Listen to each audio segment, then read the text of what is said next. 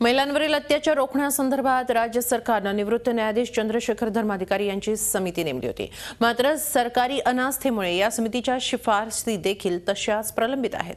केवळ समिती आणि सुविधांच्या नावाखाली राजकारण करणारे सत्ताधारी प्रत्यक्षात महिलांच्या समस्यांबाबत किती गंभीर आहेत हेच स्पष्ट होत आहे याविषयी धर्माधिकारी समितीचे अध्यक्ष चंद्रशेखर धर्माधिकारी यांच्याशी बातचीत केली. आमच्या प्रतिनिधी दीपाली जगताप यांनी.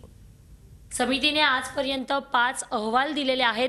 त्या अहवालांचं नेमकं काय झालं? सरकार या अहवालांकडे कोणत्या नजरेने कोणत्या दृष्टिकोनातून पाहतं? सरकार या समितीला सहकार्य करतं का? याविषयी बोलण्यासाठी स्वतः समितीचे अध्यक्ष चंद्रशेखर धर्माधिकारी आपल्यासोबत आहेत. अहवाल दिले शिफारसी दिल्या.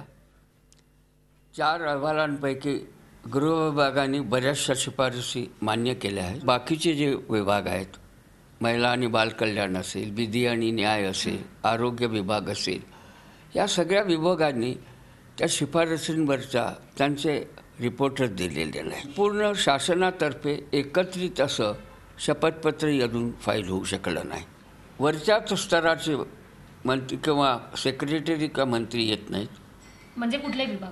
सगळेच मी तुम्हाला सांगितलं बालविकासापासून सगळ्यांबद्दल विधी विभागापासून सगळ्यांच्याबद्दल.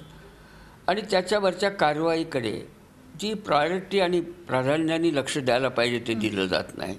ती माझी वेदना आहे. बलात्कार नावाचा अपघात माझ्या शरीरावर होईल. म्हणून मी माझं स्वातंत्र्य सोडून देऊ का? बलात्कार हा अपघात आहे. ती जबरदस्तीने अब्रू किंवा इज्जत जात नाही. ही भूमिका स्वीकारल्याखेरीज बलात्काराचा प्रश्न मनातून सुटणार नाही. आपण बघतोय की सरकारची अनास्था कशा पद्धतीने आहे? एक समिती नेमली जाते. दोन हजार दहापासून त्याचे पाच अहवाल येतात.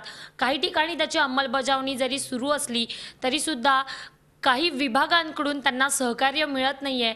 झी चोवीस तास एक पाऊल पुढे.